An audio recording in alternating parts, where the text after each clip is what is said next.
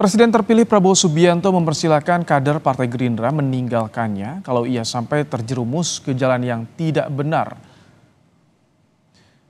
Pernyataan itu disampaikan Prabowo di depan kader Gerindra yang terpilih sebagai anggota DPR di acara pembekalan di Padepokan Garuda Sahambalang Bogor hari Senin. Prabowo mengapresiasi kader Gerindra yang setia pada rakyat. Prabowo minta kader mendukungnya selama ia memperjuangkan yang benar dan mempersilahkan kader meninggalkannya jika ia di jalan yang tidak benar.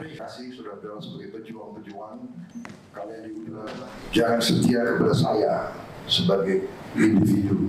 Selama saya memperjuangkan yang benar, saya minta saudara dukung saya. Begitu kau saya berada di jalan yang tidak benar, silakan tinggalkan saya.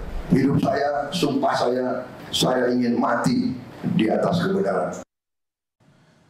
Presiden Jokowi juga mengunjungi Kabupaten Mempawah, Kalimantan Barat meresmikan smelter injeksi boksit perdana PT Borneo Alumina.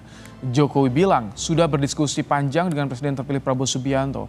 Presiden memastikan tak hanya minerba, Prabowo juga akan melanjutkan hilirisasi sektor lain seperti pertanian dan kelautan.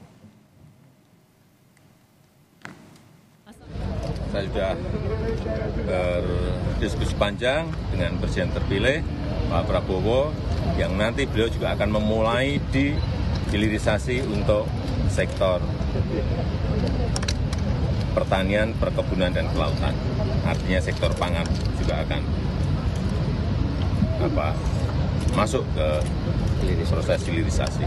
Dan itu sekali lagi nilai tambah akan muncul di dalam negeri.